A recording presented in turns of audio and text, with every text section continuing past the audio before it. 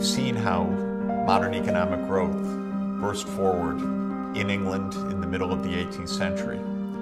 We've seen how subsequent waves of technological change, starting first with the steam engine and reaching us today with the information and communications technology revolution, have kept that process of endogenous economic growth continuing now for well over two centuries.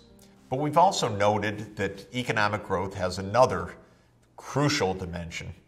For most of the world, not at the technological forefront, and not really contributing uh, in a major way to technological advances, economic growth is heavily about catching up. Uh, it is about uh, how a country that sees others in the lead can say, I want to use that technology too. Uh, we need uh, information technology in our society. Uh, we need to uh, use the best of uh, modern transport technology and the like.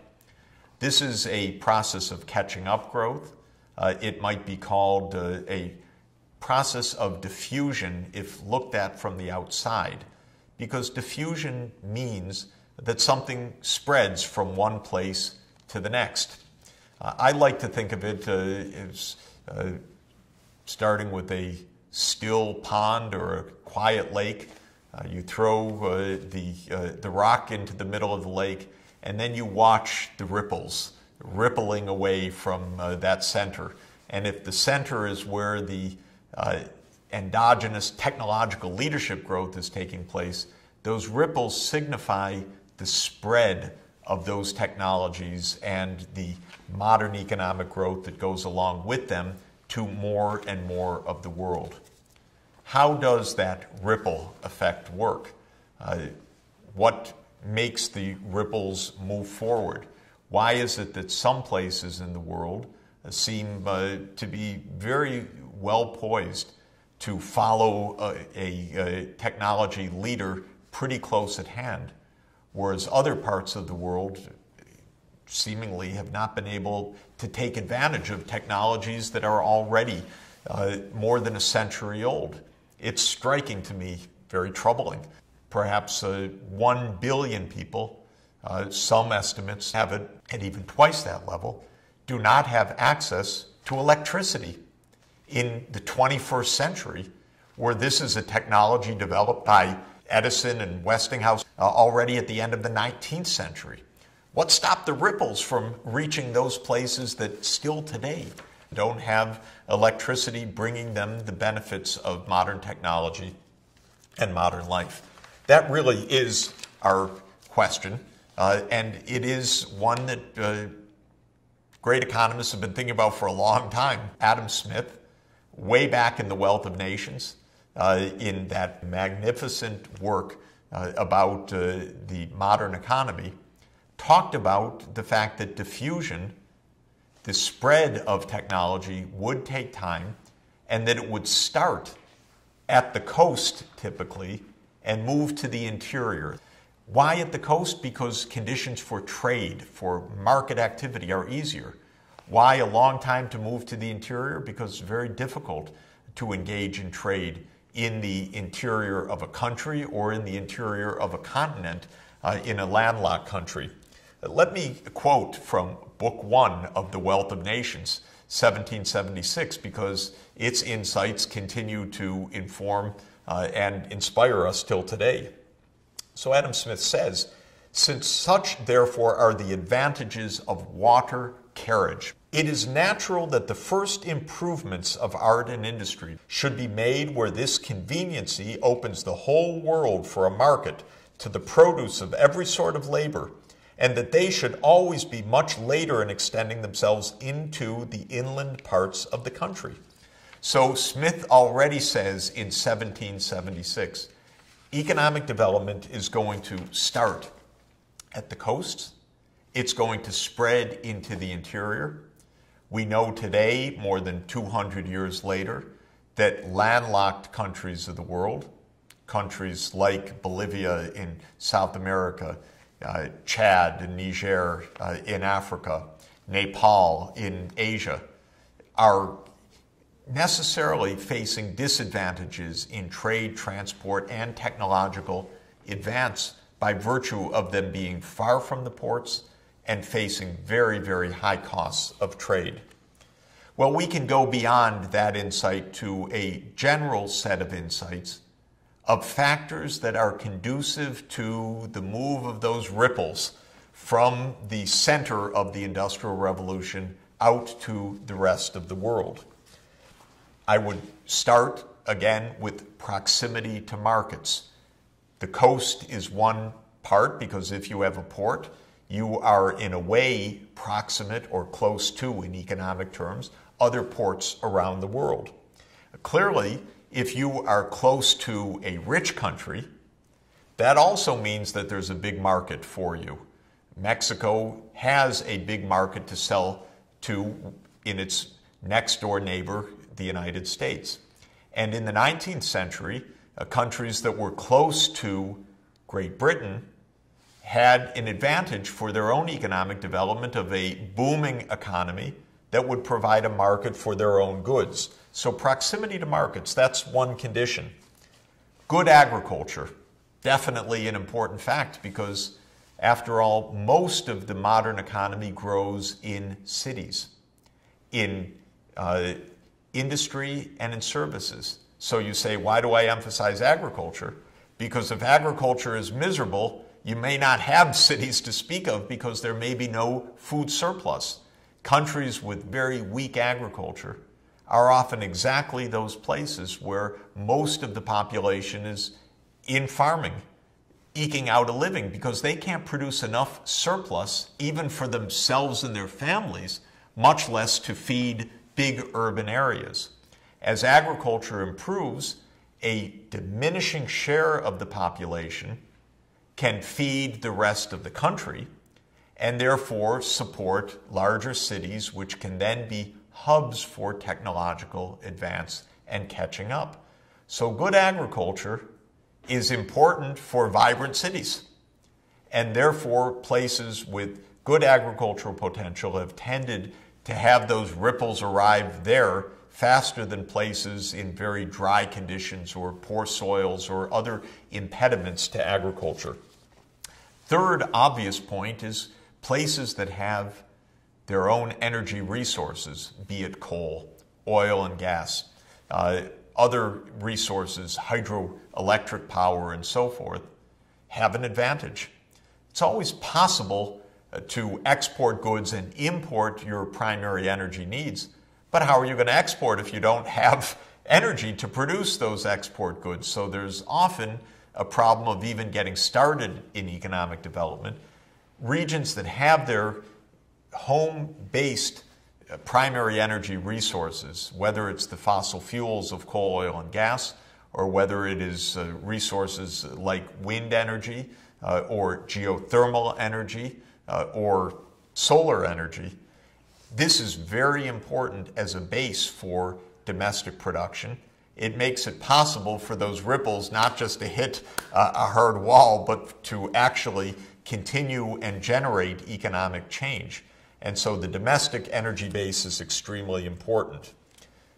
A physical environment conducive to human health, also important. A disease ridden environment filled with malaria, filled with worm infections, terrible conditions that afflict uh, many places uh, in the tropics till today can be real barriers, uh, real impediments to the diffusion of economic growth.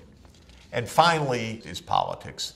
If the politics are miserable, uh, if dictators or simply chaos and violence uh, grip a society, this makes it very hard to achieve economic growth. Even if the ripples are coming one's way, uh, there's going to be no ability to harness those advantages uh, in a political environment that is devastating.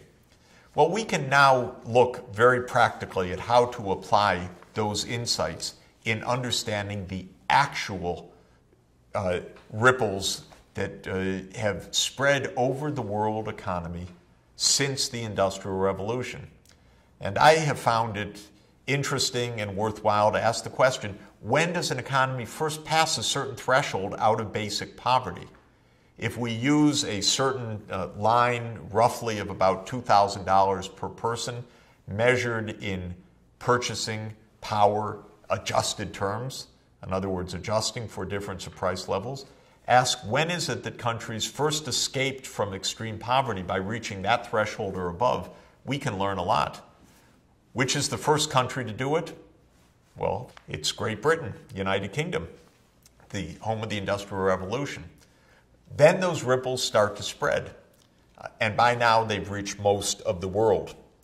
If we look just within Western Europe, it's quite fascinating because it really looks like ripples uh, spreading out from the home of the Industrial Revolution itself in England out through the neighboring countries, uh, the Netherlands, uh, right across the sea from England, and then spreading into Belgium and France, uh, spreading next into Germany, spreading a bit farther uh, into Scandinavia and Spain, a bit later uh, into Central Europe, into uh, what was then the Habsburg Empire and now is the Czech Republic and Slovakia uh, and Hungary uh, and uh, other parts of Central Europe, and then spreading after that into Eastern Europe, Romania, Bulgaria, Russia, and other countries further to the east.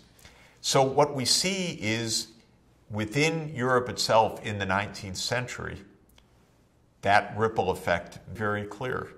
It starts uh, where the stone hits first, where James Watt and his steam engine revolutionize uh, the, the modern world. Uh, and then you have a diffusion of modern economic growth uh, that is well dated to distance from England itself. The more proximate England, the faster the diffusion of technologies, the faster is the uptake of modern economic growth. But since Europe itself is relatively compact by the end of the 19th century, virtually all of Europe is on a path of industrial economic development. For the world, it's obviously a much different story. Uh, the ripples have to travel much longer distances face far more complex uh, conditions uh, and uh, have uh, hit barriers uh, that have dissipated that energy and have frustrated the takeoff of modern economic growth, often for decades and in some cases till now. And you have the takeoff in what some historians call the land of new settlements, the United States, Australia, New Zealand, Canada, they are early industrializers. Uh, they are early to cross the thresholds out of extreme poverty. The next group of countries are countries that share a favorable natural environment. Generally, they are in the climate zones that we call temperate zones, like England, four seasons, good rains around the year. Argentina, Uruguay, Chile are examples of countries where the escape from poverty is already underway in the 19th century. In Asia, there's only one case of industrial takeoff by the end of the 19th century, and that's Japan. Take a look at the map. The place of Japan on the map is fairly analogous to the location of Great Britain. Off the great Eurasian landmass, of course, Great Britain on the west of the Eurasian landmass and Japan on the east of the Eurasian landmass. Two island economies, two temperate zone climates, uh, two places where the conditions uh, of uh, social life, literacy rates, uh, freedom from uh, invasion uh, by sea enabled them to have takeoff conditions. And Japan becomes the takeoff site for Asia uh, with the, its burst forward into industrialization beginning in 1868, the so called Meiji Restoration. Much of the rest of the world, no such luck until the second half of the 20th century. Because what happened in a lot of the rest of the world? No independence, no sovereignty. In fact, conquest. Europe becomes so powerful that European empires conquer large parts of the tropical world. By the end of the 19th century, virtually all of Africa is under European colonial rule. India has succumbed uh, to British conquest. Much of Asia has succumbed to French and British conquest. And those countries do not pass the threshold out of extreme poverty. The ripples don't reach them. The imperial powers want to maximize their own well being at home, their own industrialization. They view their colonies by and large as places for primary resources, for low skilled labor, not as places for industrial development. And so a lot of the rest of the world does not see modern economic growth until after World War II and the process of decolonization. This is a crucial historic period that we're going to look at next.